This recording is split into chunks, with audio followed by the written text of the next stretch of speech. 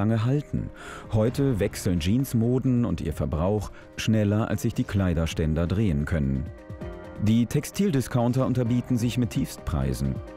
Unter welchen Bedingungen werden die Hosen in China hergestellt? Wir fragen dazu an, direkt bei einigen großen Jeansmarken.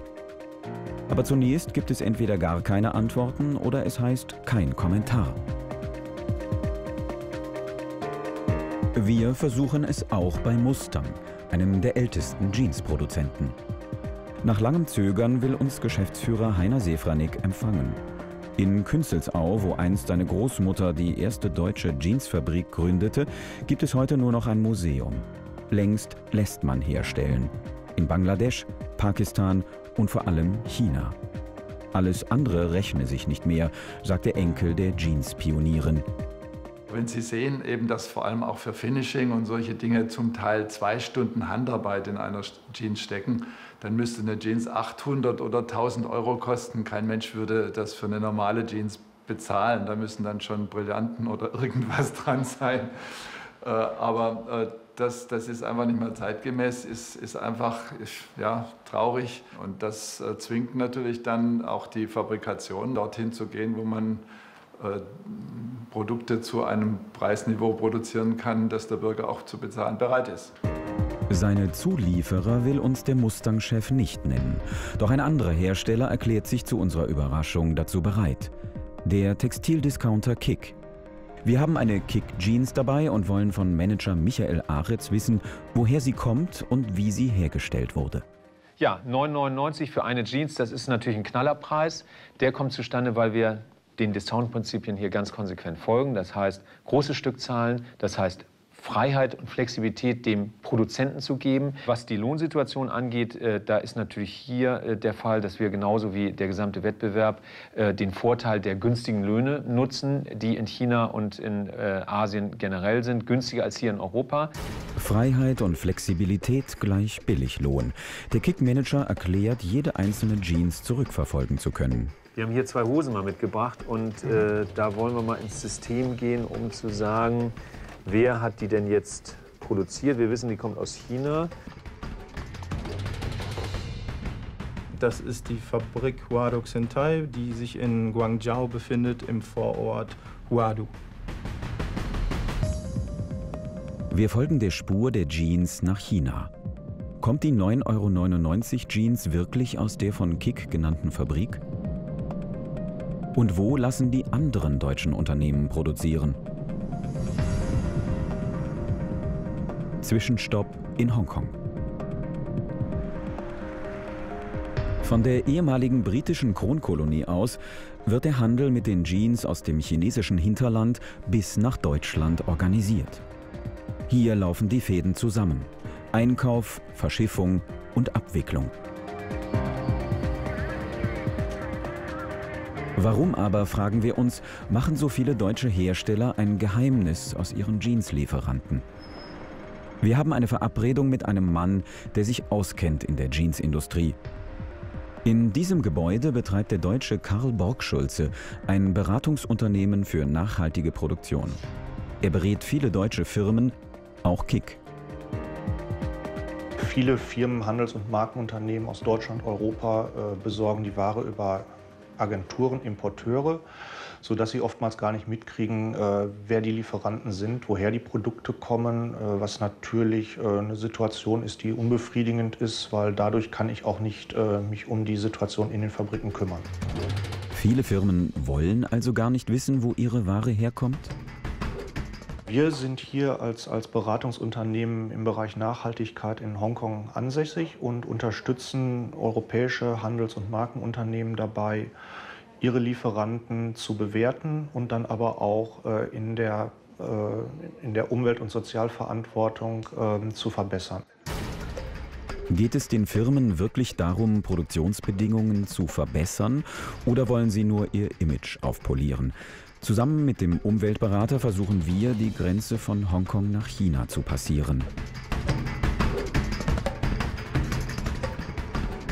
Schaffen wir es, mit unserer Kameraausrüstung in die Volksrepublik einzureisen? In China ist kritische Berichterstattung unerwünscht. Man lässt uns einreisen. Smog bleibt unser steter Begleiter bis nach Guangzhou, das die Europäer früher Kanton nannten.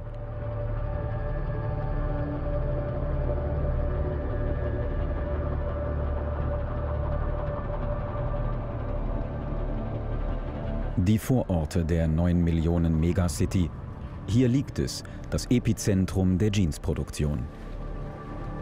In offenen Garagen schneiden hunderte Arbeiterinnen überhängende Nähte ab.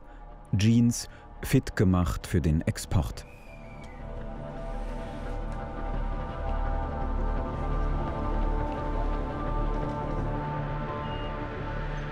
Wir erreichen die Fabrik, in der die 9,99 Euro Jeans von Kick produziert worden sein soll. Die Jeansfabrik mit dem Namen Shintai Garmin Factory gehört Jonathan Lee, einem Hongkong-Chinesen. Ja. Erinnern Sie sich? Ja, der Schnitt ist von uns. Ja, das Modell gibt es jetzt in Deutschland zu kaufen.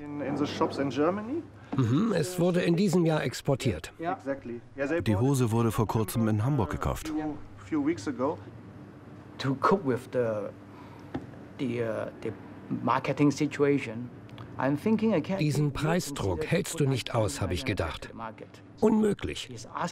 Wir müssen für maximal 4 Dollar, also knapp über 3 Euro pro Stück produzieren. Mehr zahlen unsere Auftraggeber nicht. Das war schwer. Ich habe versucht, an allem zu sparen, vom Material bis zur Wäscherei, um den Preis einhalten zu können. Die ähm, Problematik für den europäischen Markt ist, dass die Stückzahlen tendenziell relativ gering sind. Äh, wenige tausend Teile, teilweise nur ein paar, paar hundert Teile. Was ihn in der Produktion dazu zwingt, dass er ständig äh, die Maschinen wechseln muss, die Arbeiter äh, sich an den Style gewöhnen müssen. Und bei, bei 500 bis 1500 Teilen ist das Produkt gerade erst eingelaufen und die Auf, der Auftrag ist wieder durch. Dadurch, dass er hier deutlich größere Auftragszahlen hat, äh, sind die Arbeiter froh, weil die dann einfach ein, zwei, drei Wochen am Stück durch den gleichen Style produzieren äh, können. Amerikanische Discount-Giganten wie Walmart lassen Stückzahlen von einer Million produzieren. Dagegen sind die deutschen Unternehmen Kleinkunden. Doch mit immerhin rund 30.000 Hosen pro Order ist Kick zumindest in Deutschland einer der großen. Und es bekommt Lee zu spüren. Es ist wirklich schwer, einen höheren Preis von unserem Kunden, also Kick, zu bekommen. Der Preisdruck ist wirklich höllisch. Umgerechnet 3,10 Euro bekommt Lee von Kick für eine Jeans. Für seine 175 Arbeiter bleibt dann nicht mehr viel übrig. Von den 3,10 Euro muss Lee noch den Stoff, die Garne und eine Wäscherei bezahlen, die für ihn arbeitet.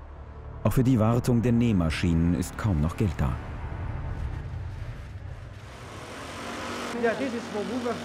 Das sind Bermuda-Shorts für Deutschland. Mit einer Menge farbiger Nähte. 85 Prozent seines gesamten Umsatzes macht Lee mit Kick und Woolworth Deutschland, die auch Jeans im unteren Preissegment anbieten. Keine guten Voraussetzungen für höhere Löhne in China.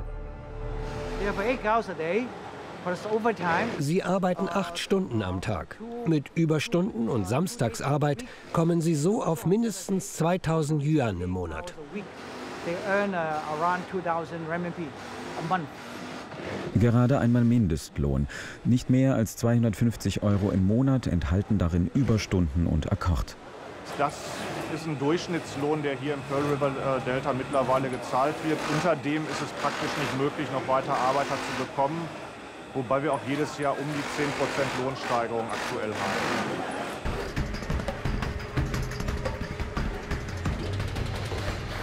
Doch wie sollen die Löhne weiter steigen, wenn westliche Unternehmen Jeans zu einem Stückpreis von 3,10 Euro produzieren lassen?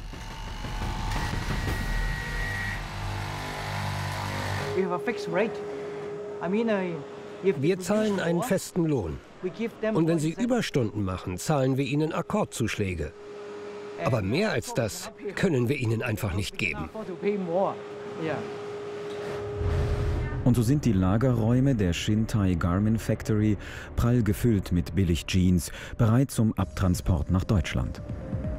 Jonathan Lee will uns noch etwas anderes zeigen. Eine halbe Stunde entfernt bringt er uns auf das Gelände einer sogenannten Wäscherei. Doch in dieser Fabrik wird nicht in erster Linie gewaschen, sondern hier wird der umstrittene Used Look, der Gebraucht-Look der Jeans erzeugt. Auch Lee lässt seine Jeans für Kick hier behandeln. Mit Sandpapier werden neue Hemden auf gebraucht getrimmt. Knochenarbeit, zehn Stunden jeden Tag. Das ist ein Frauenhemd. Wir selbst machen das nicht. Das ist für einen anderen Fabrikanten. Der Kunde, der das bestellt hat, ist HM.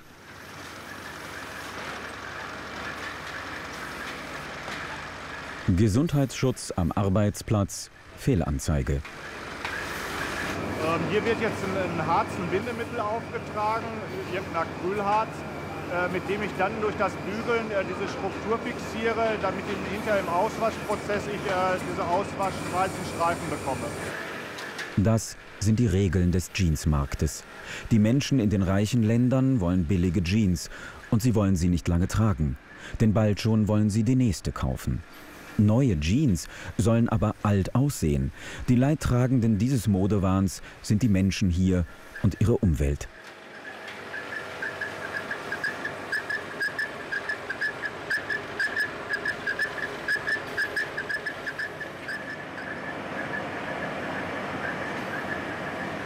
Umweltbewusstsein in dem Sinne, so wie es bei uns ausgeprägt ist, ist hier leider noch nicht vorhanden.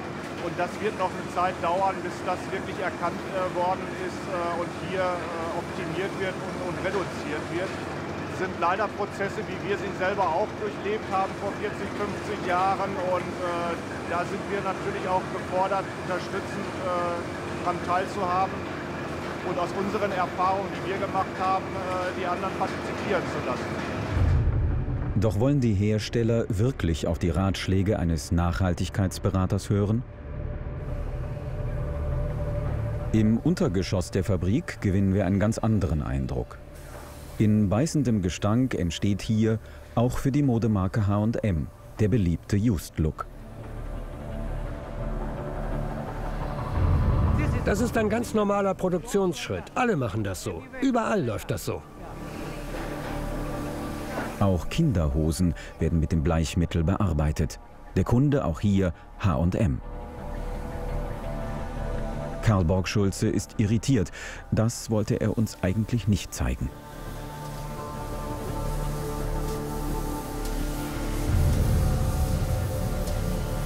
Also das Sprühen insgesamt sehe ich als einen, einen, kritischen Prozess. Wir haben hier zwar eine relativ gute Belüftung und äh, die Masken sind halbwegs akzeptabel, Dennoch ist das eine Sache, die ich äh, persönlich relativ ungern sehe, äh, weil Chemikalien versprühen insgesamt einfach keine, keine gute Idee ist.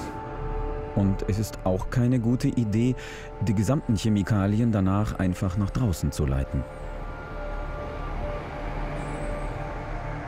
Hier gibt es zwar ein Klärsystem, aber mit dem, was wir darunter verstehen, hat es nichts zu tun.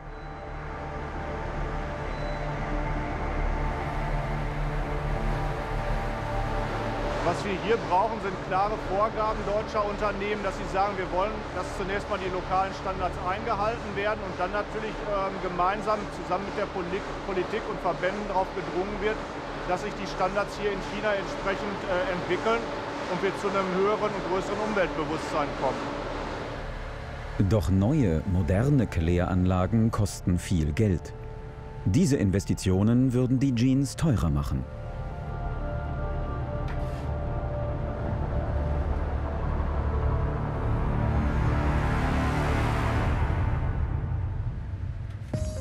Dieser erste Besuch war angekündigt und somit offiziell.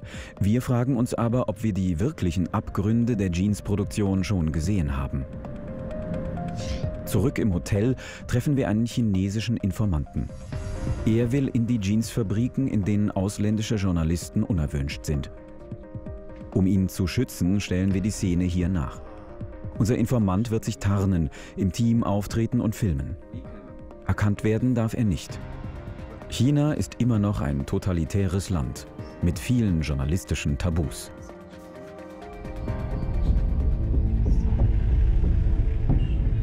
Wir fahren nach Shintang, in die sogenannte Welthauptstadt der Jeans. Allein hier werden jährlich 260 Millionen Hosen produziert. Kameramann Jiang kennt zwei Fabriken, wo er glaubt, Einlass zu finden.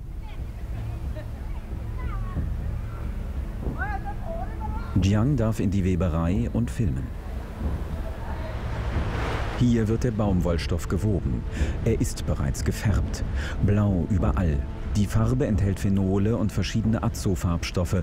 Einige davon können krebserregend sein. Der Abrieb geht in die Luft. Die Fasern wurden zuvor mit Ätz, Natron und Säure behandelt, um die Farbe besser aufzunehmen.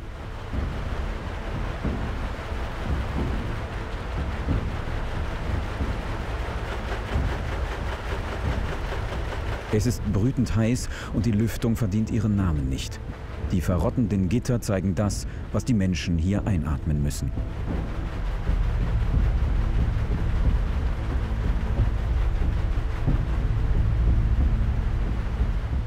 Blauer Staub auch nebenan in der Näherei, wo der fertige Jeansstoff zugeschnitten und zu Hosen vernäht wird.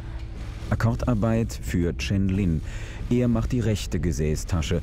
Seine Frau Mai kam mit ihm aus einem armen Dorf in die Jeansfabrik. Sie näht die linke Gesäßtasche. Er sieht nur ihren Rücken den ganzen Tag und Hosentaschen nichts als Hosentaschen. Ich arbeite 15, manchmal auch 16 Stunden am Tag. Mittags mache ich eine Stunde Pause. Morgens um 8 Uhr fängt die Arbeit an und geht bis mindestens 23 Uhr. Na ja, klar. Die Jeansnäherei ist schon anstrengend. Aber wenn du dich erst einmal daran gewöhnt hast, dann geht es irgendwie fast automatisch. Da kommt man auch mit weniger Schlaf aus. Ich bin ja schon über zehn Jahre dabei. Da hat man irgendwann mal Routine.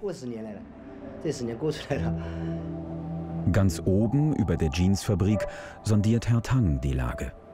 Der Fabrikbesitzer hat ehrgeizige Pläne. Er will reich werden. Deshalb sieht er Pausen seiner Arbeiter nicht wirklich gerne. Die malochen 30 Tage durch, haben nur einen Tag im Monat frei. 180 Leute beschäftigt er bereits. Herr Tang träumt davon, dazu zu gehören, zu Chinas aufstrebender Wirtschaftselite. Doch für ihn noch ein langer Weg. Er gönnt sich keinen Luxus, denn er zahlt noch einen Kredit ab, mit dem er alles finanziert. Und der Baumwollpreis steige und steige, klagt er. Mit Jeans kannst du im Moment kein gutes Geld verdienen. Es reicht so, um zu leben. Gerade die Kunden machen oft Probleme. Da hast du vorher mit ihnen 40 Yuan pro Hose vereinbart und dann sagen sie plötzlich, dass sie die Hosen nur für 35 Yuan abnehmen werden. Einfach so. 5 Yuan weniger. Viele europäische und auch amerikanische Kunden zahlen ihm also weniger als 4,30 Euro pro Jeans. Da zählt jeder Cent. Ich habe selbst mal klein angefangen. Vor zwölf Jahren habe ich noch als Arbeiter genau diesen 20 cm langen Abschnitt der Jeansnaht genäht. Doch, darin war ich gut. Später wurde ich befördert in die Exportabteilung. Dort habe ich Leute getroffen, die später meine ersten eigenen Kunden wurden. Doch so schnell es manchmal nach oben geht im Jeansgeschäft, kann es auch wieder abwärts gehen. Das weiß auch Herr Tang. Dort unten haben sie andere Probleme. Den Fabrikarbeitern stecken bereits acht Stunden in den Knochen, sieben liegen noch vor ihnen. Nur eine kleine Mahlzeit brät Chen Lin sich und seiner Frau. Nachmittagspause. Essen und Wohnen auf vier Quadratmetern. Dafür haben sie ihr Heimatdorf verlassen. Doch das große Glück im Blue Jeans Wunderland ist ausgeblieben.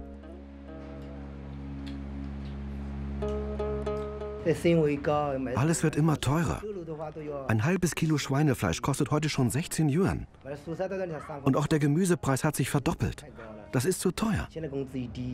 Also, die Preissteigerungen fressen unseren Lohn auf. Ich verdiene manchmal nur etwas über 2000 Yuan. Und meine Frau verdient viel weniger. Umgerechnet sind das etwa 300 Euro monatlich, die beide zusammen in der Tasche haben, nach 30 Tagen in Doppelschichten. Sie hoffen wie in jedem Monat, dass das Geld ausreicht, das sie nach Hause schicken, zu ihren Eltern und ihrer Tochter, die sie dort zurücklassen mussten.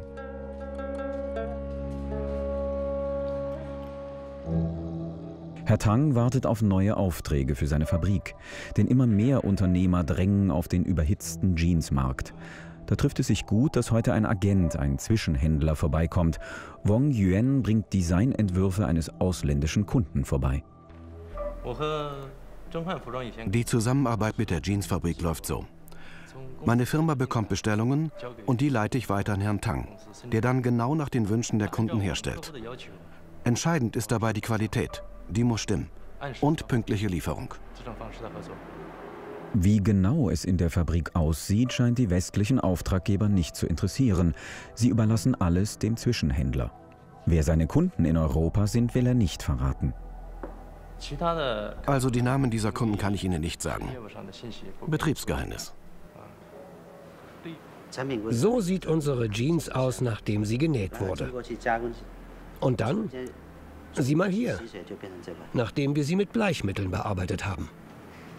Herr Tang präsentiert stolz, was ein massives Problem für die Umwelt und seine Arbeiter darstellt. Aber er mache alles, was gewünscht werde. Unsere spezielle Behandlung macht die Jeans so schön ausgewaschen. Es gibt viele chemische Mittel. Manche davon sind nicht umweltfreundlich. Wir benutzen aber nur umweltfreundliche. Diese Hose wurde mit unterschiedlichsten Bleichtechniken bearbeitet. Das ist der wichtigste Arbeitsschritt.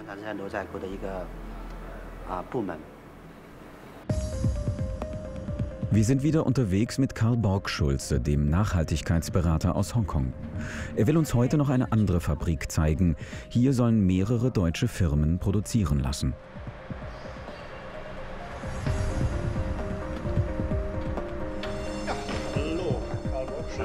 Hier treffen wir zwei deutsche Importeure.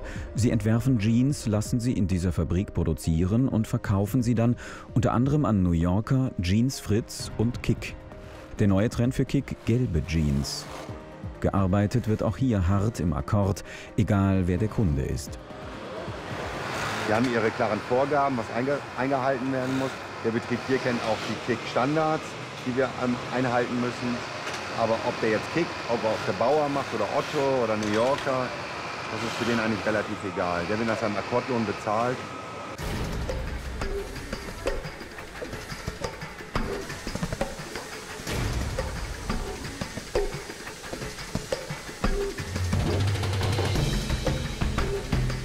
Alles geschieht in Handarbeit, denn der Mensch ist billiger als jede Maschine. Nur nicht so präzise. Alles muss immer gleich aussehen, 100 Prozent. Und dadurch, dass es eine Handarbeit ist, fallen natürlich auch die rechte und linke Seite unterschiedlich aus. Das ist Handbrush mal höher, mal länger gezogen, mal breiter, mal schmaler. Und das ist natürlich sehr schwierig bei einer hundertprozentigen Handarbeit halt zu kontrollieren. Handarbeit, die bei uns wertvoll und teuer ist, hier wird sie zum Makel, mit dem man den Einkaufspreis drücken kann. Auf einmal hören wir einen infernalischen Lärm. Mit Hochdruck werden die Flusen aus den Jeans geblasen. Ich denke, dass der junge Mann Mitte 20 ist und äh, wenn er so weitermacht oder unter solchen Umständen arbeitet, ist natürlich sehr kritisch. Dann ähm, müsste er eigentlich in einem Jahr taub sein. Also wie gesagt, wir müssen das klären. Also das ist etwas, was wir auch nicht dulden, was wir auch nicht wollen. Trotzdem lässt er hier weiter produzieren. Eddie Knappheides China-Geschäfte laufen seit zehn Jahren. Seine Mode ein reines Saisongeschäft. Verträge gibt es immer nur für genau ein Hosenmodell. Ist er zu teuer, bekommt ein anderer den Auftrag.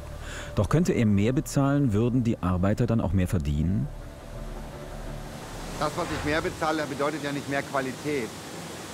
Also ich kann mir auch eine Hose kaufen, die unter den gleichen Umständen gekauft, äh, gemacht worden ist da ist die Margen, keine Ahnung, tausendfach. Und ich habe trotzdem die gleichen Qualitätsprobleme in so einer Hose. Und da glaube ich nicht, dass der Näher oder die Näherin das Geld letztendlich in ihre Tasche bekommen. Alle machen es offenbar und niemand will es ändern. Wer verdient so richtig an den Jeans? Wir recherchieren und finden einen der größten Exporteure, Asmara.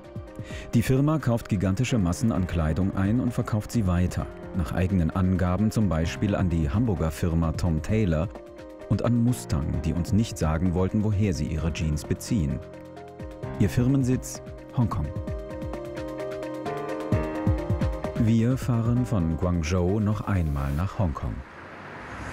Der Firmensitz von Asmara wird im Internet mit der Castle Peak Road angegeben. Auf schriftliche Anfragen um ein Interview gab es keine Antworten. Nun wollen wir persönlich fragen. In einem schäbigen Hochhaus soll der Handelsgigant sitzen. Doch die Türen von Asmara bleiben verschlossen.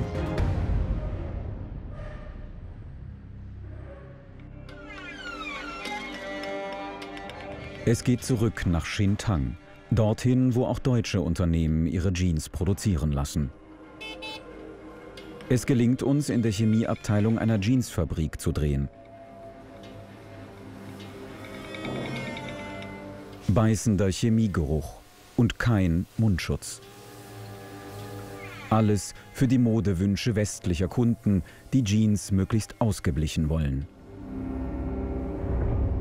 Nicht mal zwei Meter entfernt entdecken wir das weltweit geächtete Sandstrahlen. Es trimmt die Jeans auf alt. Doch der feinste Sandstaub frisst sich auch in die Lungen der Arbeiter. Nach Jahren wartet oft der Tod durch Silikose, Staublunge. Diese Lösung bietet keinen Schutz. Die gefährlichen Partikel fliegen durch die ganze Fabrik. Auch Xu Feng atmet sie ein. Dazu noch die Substanz, die er selbst versprüht, zum Nachbleichen. Die chemischen Mittel. Also was soll ich sagen? Da gibt es so viele. Wie soll ich die alle aufzählen? Ich habe keine Ahnung, es sind so viele. Der Meister alleine macht die Mischung und gibt sie mir dann. Offenbar wird hier Hypochlorid versprüht, ein aggressiver Stoff, äußerst gesundheitsgefährdend. Feng soll bei seinem Meister antreten, jenem Mann, der den Arbeitern die Giftcocktails zusammenmixt. Qualitätskontrolle. Auch Feng muss abliefern, jeder künstlich erzeugte Fleck an der richtigen Stelle sitzen. Anschließend wird gewaschen. Mehrmals, damit die Jeanskäufer im fernen Deutschland von der Chemie nichts bemerken. Tatsächlich werden nur noch selten in Jeans giftige Rückstände nachgewiesen. Der Waschaufwand wurde dafür dramatisch erhöht. Etwa 200 Liter Wasser werden für die Produktion von einem einzigen Kilo Jeans, nur etwa drei Hosen, verbraucht. Aber auch in den Waschmitteln steckt Chemie. Es geht in eine Halle mit schimmligen Wänden. Hier werden die Jeans nach dem Waschen weiter veredelt, wie es heißt. Der junge Arbeiter sprüht Kaliumpermanganat zum Ausbleichen. Ohne Maske. Die violette Substanz hat eine stark gewebeverätzende Wirkung. Ich kenne viele, die schon lange damit arbeiten. Es gibt auch einige, die aussteigen, aber die meisten haben keine Probleme. Ehrlich gesagt, der Geruch ist manchmal schon schwer zu ertragen. Meine Gesundheit ist aber ganz okay. Ahnungslos ist er und vor allem jung. Futter für die Jeansfabriken Chinas, die Jugendliche wie ihn nach ein paar Jahren förmlich wieder ausspucken, als gesundheitliche Wracks.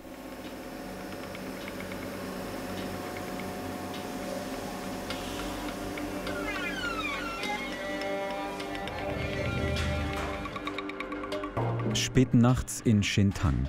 Hier liegen die Quartiere der Arbeiter. Zwölf Mann leben auf 20 Quadratmetern zur Miete. Dafür kassieren die Fabrikbesitzer einen Teil des Lohnes wieder ab. Der Mann in Rot, Feng, hat endlich Feierabend. Schlafkojen statt Privatsphäre. Zum Glück schieben die meisten Kollegen Nachtschicht. Die Chemie klebt noch auf seiner Haut, doch Feng scheint das nicht zu beunruhigen. Das hier an den Händen, das bisschen ist doch nichts. Ich gehe einfach duschen und dann ist es weg. Die Dusche, das sind zwei blaue Eimer. Fließend Wasser gibt es nicht.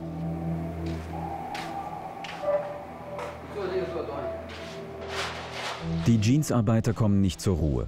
Andere Kollegen stehen an der Waschmaschine zum Stonewashen die ganze Nacht. Nach all dem Bleichen und Waschen sind die Jeans fast fertig, doch ohne die Bimssteine geht nichts. Hier sind sie lila von der Chemie. Viele Arbeiter sind krank geworden, doch darüber zu sprechen trauen sich die wenigsten.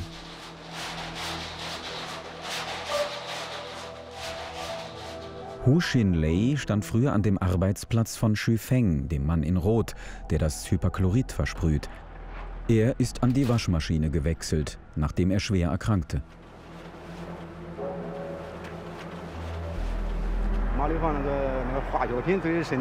Das Bleichen der Hose wird besser bezahlt. Aber nachdem ich diesen ständigen Husten bekam, der nicht mehr wegging, habe ich einfach große Angst vor den Dämpfen und diesem Gestank bekommen.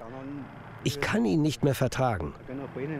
Früher an der Bleistelle hatte ich zwar die einfachere Arbeit und jetzt an der Waschmaschine ist es nass und feucht, aber ich muss dieses Zeug nicht mehr riechen.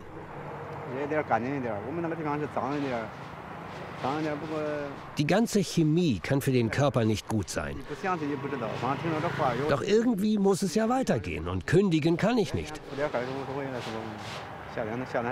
Was soll ich denn anderes machen?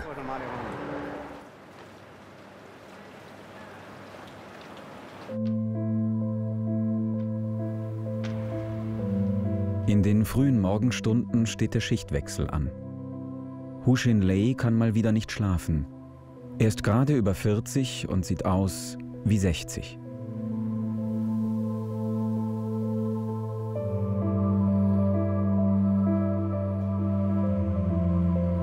Das Blau von gestern ist er nicht ganz losgeworden, doch wenigstens hat Xu Feng ein paar Stunden geschlafen. Dann muss er wieder ran an die Jeans.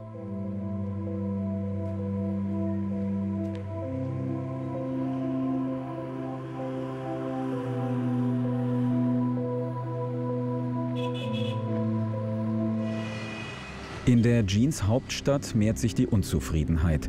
In den letzten Monaten kam es in Xintang immer wieder zu sozialen Unruhen. Wir verstehen längst, warum.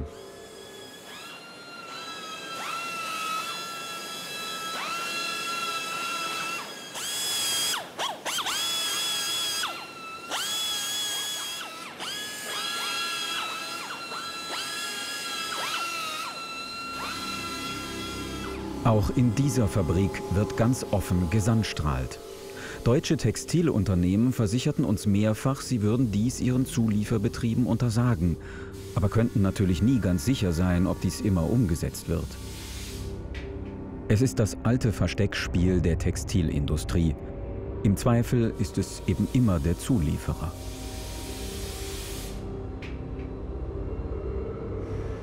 Sieht so eine Wäscherei aus? Chemiefässer, soweit das Auge reicht.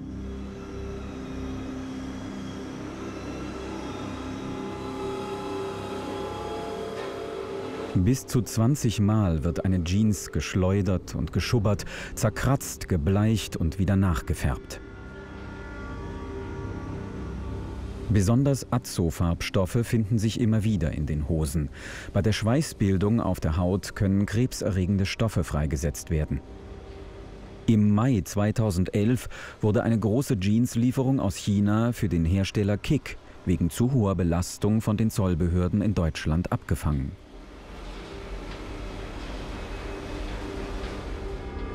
Das meiste Gift bleibt hier, ein Abfluss gleich hinter der Fabrik. Das violette Kaliumpermanganat belastet das Wasser in der ganzen Umgebung. Am Ende landet die Brühe im nahen Perlfluss.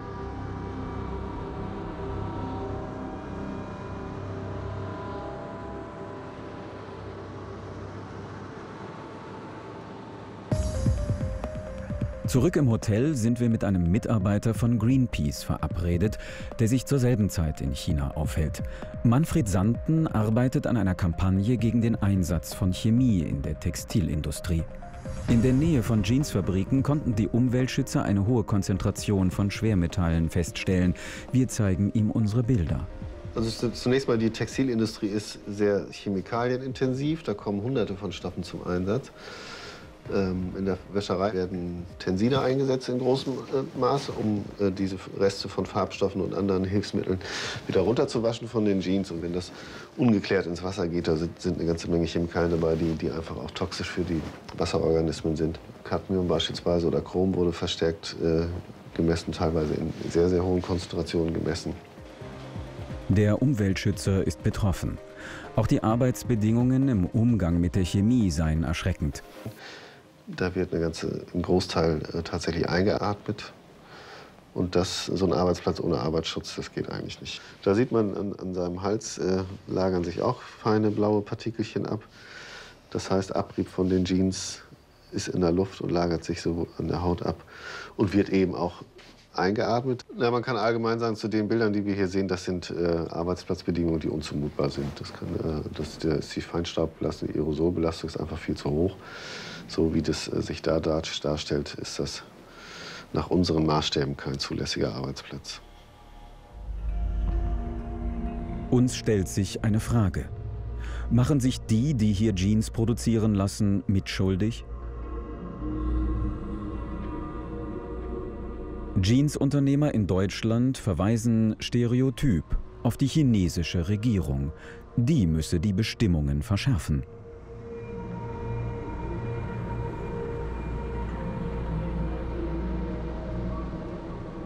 Baden verboten. Längst gilt das rund um die Jeansfabriken am Perlfluss. Schwarz schimmert das Wasser von den Färbemitteln. Die Menschen, die hier wohnen, haben ihre Lebensader verloren.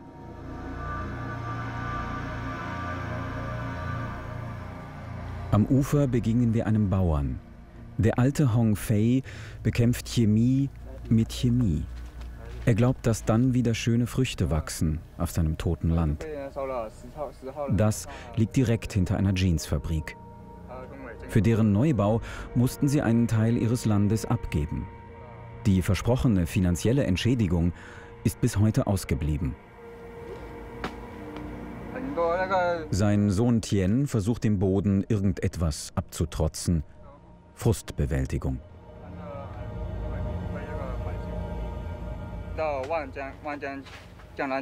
Das ganze Elend hat angefangen, als die Jeans hierher kamen, vor gut zehn Jahren.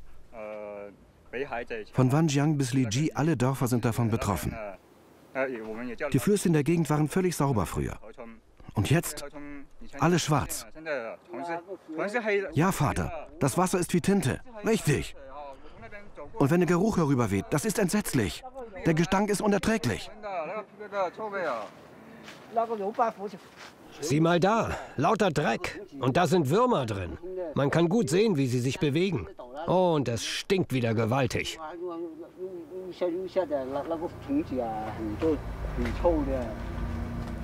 Hong Fei und sein Sohn sind die Verlierer im großen Jeans-Monopoly. Der industrielle Aufschwung Chinas findet hier auf Kosten der Kleinbauern statt. Die beiden werden ihre magere Ernte nicht mehr los. Und das Geld für ihr Land, das sie verkaufen mussten, sehen sie auch nicht. Sie glauben, der Grund ist Korruption. Die fahren jetzt dicke Autos und sitzen in Villen. Sie saufen teure Weine. Und wo kommt das Geld wohl her? Na, woher wohl? Aber man kann sie einfach nicht verklagen. Vater und Sohn wollen uns ihr Haus zeigen und ein Dokument, das ihre Ansprüche bestätigt. Tien hält es in der Hand. Aber was soll uns das bringen, klagt der Vater. Dort wird bestätigt, dass die Entschädigung bereits ausgezahlt sei. Nur an wen denn? fragt er. Sie hätten es jedenfalls nicht bekommen. Irgendjemand muss es sich selbst eingesteckt haben, vermutet Sohn Tien. Früher hätte es das nicht gegeben, klagt Hong Fei. Aber was zähle heute noch ein einfacher Mann? Von einem harten Leben gezeichnet, erwartet er nicht mehr viel. Seine Frau habe ihn verlassen, erzählt er. Sie wollte hinaus in die Stadt mit den hohen Häusern, aufbrechen in die neue Zeitrechnung Chinas. Nur für seinen Sohn wünsche er sich, dass endlich das Geld komme, dann könne er in Ruhe sterben. Zurück in Deutschland, Hamburg. Wir wollen mit denen reden, deren Jeans wir in einigen der chinesischen Fabriken gefunden haben. Einer davon Textilgigant Hennes und Mauritz. Doch weder die Deutschlandvertretung noch die schwedische Konzernleitung wollen sich vor der Kamera äußern. Jensch, NDR Fernsehen. Guten Tag. Äh, verstehe ich Sie richtig, dass die äh, Firmenleitung in Stockholm, in Schweden, kein Interview zu dem Thema Jeansproduktion in China geben möchte? Sie möchten davon absehen. Später bekommen wir eine schriftliche Stellungnahme. Darin heißt es, Zitat, es ist unser erklärtes Ziel, dass alle Produkte von HM wirtschaftlich, sozial und ökologisch nachhaltig produziert werden. Auch zum Firmensitz des Textildiscounters Kick fahren wir noch einmal. Wir haben die Aufnahmen dabei, die in den chinesischen Fabriken entstanden, die für Kick produzieren. Wir konfrontieren das Vorstandsmitglied Michael Aretz mit diesen Bildern.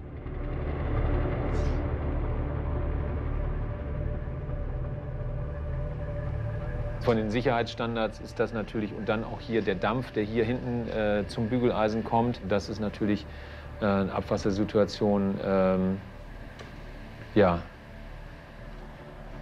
immer noch leider eher äh, die Regel und nicht die Ausnahme. Wir haben hier in Deutschland die Situation ja auch gehabt, dass wir die bunten Flüsse gehabt haben. Äh, dann ist es in, ins Ausland gegangen. Hier geht es auch darum, was macht die, äh, die, die, Regierung letztendlich? Gibt es überhaupt äh, die Entsorgungsmöglichkeiten, was den Müll angeht? Gibt es Entsorgungsmöglichkeiten für die Abwässer? Wie sehen hier die gesetzlichen Rahmenbedingungen aus? Auch Kick verweist auf die Zuständigkeit der Chinesen. Die müssten für höhere Standards sorgen. Könnte nicht auch ein Unternehmen dann mit gutem Beispiel vorangehen und einfach sagen, wir äh, produzieren dann eben nicht mehr da? Das ist, äh, also wenn Sie jetzt in, in, in, die Situation in China, die ich nicht äh, äh, hundertprozentig äh, kenne, aber da ist hier eben der Fall, genauso wie es dann in Indien der Fall, dass ich gar nicht die Alternativen habe. Es gibt dann die drei, vier, fünf Fabriken, wo man hingehen kann. Die sind dann voll gebucht und ich, wenn ich sage, ich will diesen Auftrag platzieren, kann ich ihn in China platzieren oder in Bangladesch oder in Indien. Will heißen, Kick sieht angeblich keine andere Möglichkeit, als die Situation in China auszunutzen. Verbessern sich irgendwo die Standards, wird es vielen Herstellern schnell zu teuer. Bei Mustang ist man bereits auf dem Sprung. In China steigen schon Löhne und andere Kosten, klagt Jeans-Produzent Heiner Sefranek. Man kann jetzt dann vielleicht noch irgendwo nach Zentralafrika ohne dass, äh, dass man jetzt vielleicht dort diese Produktivität hat, die hohe, die man in Ländern, in asiatischen Ländern hat. Ähm, aber es wird in der Tat natürlich jetzt immer schwieriger, noch Märkte zu finden, wo sie ähm, die Ansprüche ihrer Kundschaft äh, ohne Preiserhöhung dann hinbekommen. Weil viele Hersteller fürchten, dass China bald zu teuer ist, wird die Jeansindustrie wohl am Ende weiterziehen. Nach Afrika, wenn dort die Menschen noch bereit sind, unter menschenunwürdigen Bedingungen zu arbeiten.